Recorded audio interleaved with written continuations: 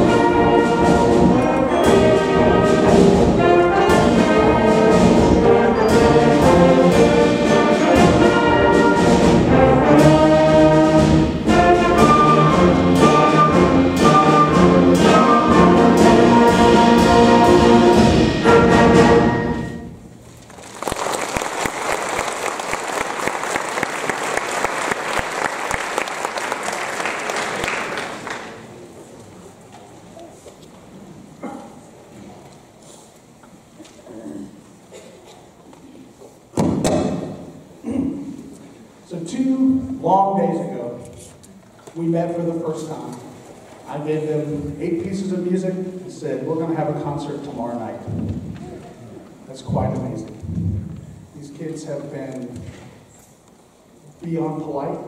They're, they're gracious. They're, they're grateful to be here. Uh, I heard some students walk by and, and tell their band director, thank you for bringing me here. This means a lot to, to a lot of these children, and it means a lot to me. I have a son who's about to graduate, go off to college. I know, you're shocked. I'm way too young to be having a son. Um, but one of the, the greatest things that I had was to be able to teach him and to spend musical time with him on a daily basis. So uh, I, just, I understand what it's like to work long hours and to, uh, our portion of the concert's going to be less than 15 minutes. Long hours, 15 minutes of work, but it's so worth it. Uh, I thank the band directors of the county, I thank the parents and administration, and all the support that you do. Uh, It's been a pleasure. Bottom of my heart, thank you so much for making this a pleasant and pleasing experience, very rewarding. Thank you.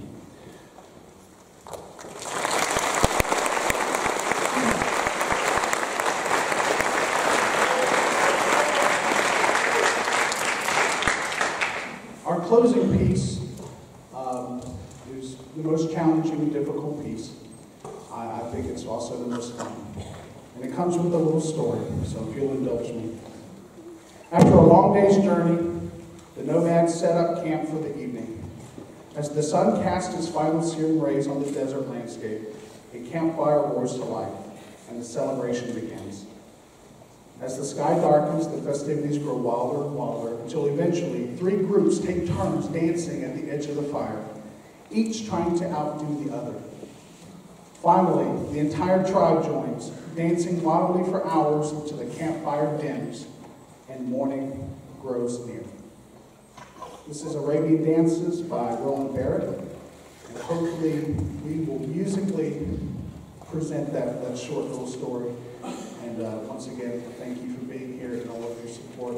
These kids are wonderful.